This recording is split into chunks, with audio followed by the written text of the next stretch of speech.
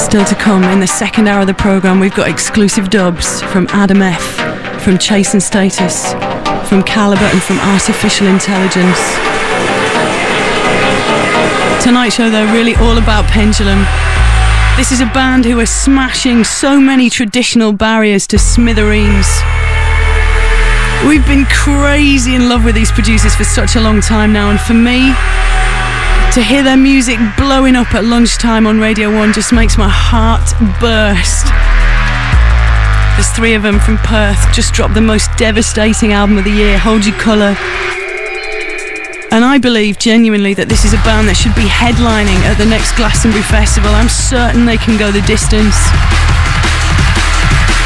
Rob called me from the road in Australia at breakfast time this morning to say that they'd spent the last 72 hours with no sleep at all Hatch is battened down in the studios working on brand new takes of the album tracks, especially for this mix.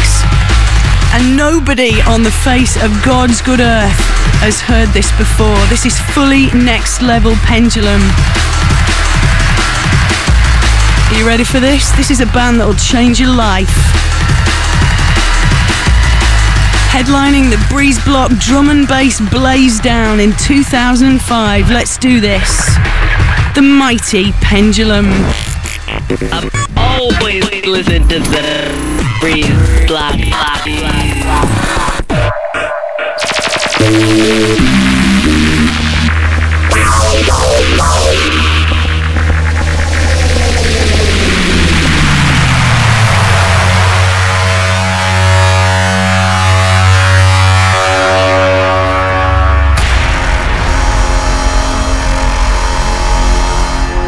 Somewhere out there in the vast nothingness of space.